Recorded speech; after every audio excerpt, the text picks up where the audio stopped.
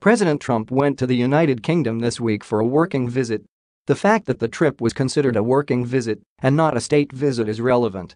In a state visit, the president would be invited to stay at Buckingham Palace and would be treated to a state dinner and the pomp and circumstance that surrounds the royal family in such events.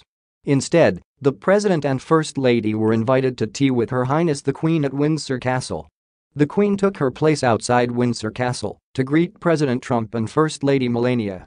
The Queen stood beneath her canopy, overlooking the garden she waited, and she waited. Queen Elizabeth II is 92 years old, wearing a coat and gloves, standing in the summer heat, waiting for the president who was late to meet her. At one point, the Queen actually checked her watch as she waited for the President of the United States to arrive for tea. Twitter was exceptionally displeased by the disrespect. Patricia Treball tweeted writing, Queen Elizabeth II is there. But where is the guest? Yeah, still in his helicopter, leaving the 92-year-old monarch to wait and wait. The President and First Lady finally arrived at Windsor Castle, where Trump continued to disrespect the Queen. Donald Trump did not bow to the Queen, choosing to shake her hand instead. Similarly, Melania did not curtsy, she also shook the Queen's hand.